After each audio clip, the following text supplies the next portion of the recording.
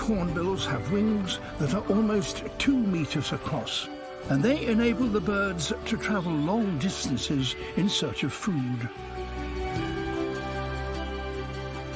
Hornbills feed on the fruit of 40 or so different kinds of trees and transport the indigestible seeds they contain all over the Western Ghats.